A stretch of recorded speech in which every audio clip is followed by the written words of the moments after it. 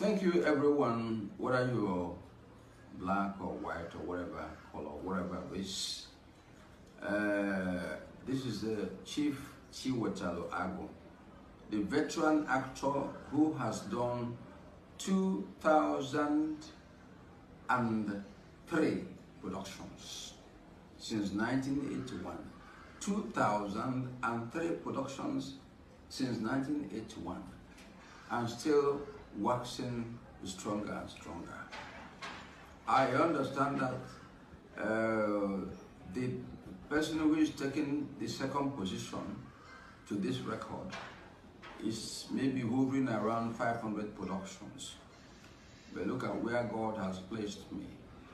Why I am drawing your attention this very moment eh, is to show you, just take a look at uh, what is on this table. Arrows of different types. We have arrow of cowrie here. We have arrow of sea stone. We have arrows of pins. You can see pins, but they are here, uh, uncountable now. Then you have seen, uh, this is a key.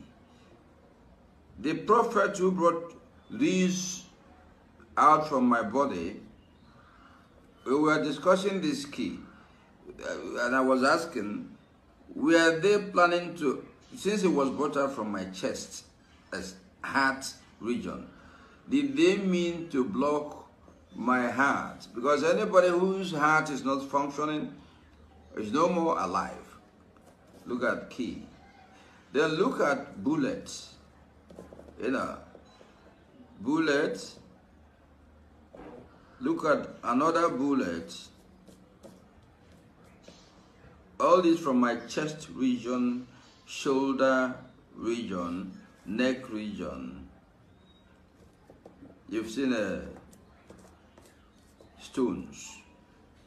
Some are purely sea stones brought for the purpose of killing this child of God. When we saw this mirror, we were calculating that the enemies had sent all these.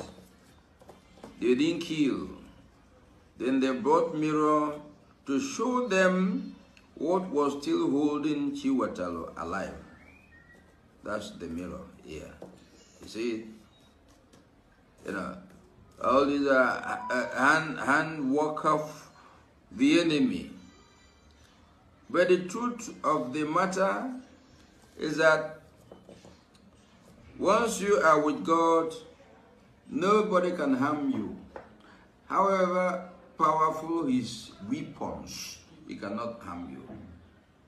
What I see myself as is as agent of the Lord to help humanity, to save those I can save from being destroyed by the enemy, just like God has saved me from being destroyed by these people. But at a point, I was asleep, I was even seeing myself five feet under the ground. And you know that um, it is six feet when you die, they bury you. And I saw myself going down up to five feet underground. And I called on God with a voice in need, a voice in danger, a voice that was saying, I will not agree, Lord. If I have done this for you, Lord, this one, that one, the other one, then I don't deserve where I am finding myself. Once I made that pronouncement, the time it was happening, I saw myself being brought out from the ground up to five feet, up to four feet, up to three, until I found myself back in the world again. You know, see, um, I don't know how to express thanks to God. But what I'm preaching to all of you is that with God, nothing will happen to you. Nothing whatsoever. I know what I'm doing for God, how I worship Him, how I help my fellow human beings through the support of God. So when these things were happening, I wasn't expecting myself to to um, leave this world the way my enemies planned.